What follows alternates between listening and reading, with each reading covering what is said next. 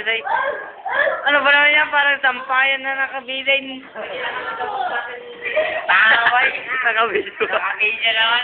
Tama naman. Wow, ang galing niya, no? Ito naman yung katawan ko pag masdan nyo. Uy, huwag ka nga. Nililit ka. Yan, si H3. Buto-buto yan, mga friends. Yeah. Laki ng katawan niya, oh. See? See? Oh, ya yan, yan. Yan. Kulang na lang sampayan para kuhan. Diba? Yan po ang ating mga nagagap po ang mga bisita ngayon. Yun. Ito naman ang aking katawan pag masdan nyo naman. Yan. Woo! Paano? Malaki ba? Malaki ba, Wesley? Pinapakilala ko po sa inyo ang kagalang-galang na walang galang Ginoong Rostan El Facundo. Yan. Cute.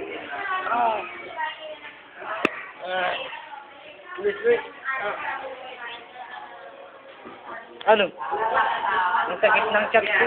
Kinakabag. Oh, dyan. Nagkikiyang.